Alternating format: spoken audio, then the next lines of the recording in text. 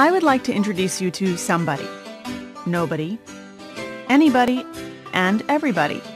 They all work in a very busy company just like yours. There was a very important job to be done. Everybody was asked to do it.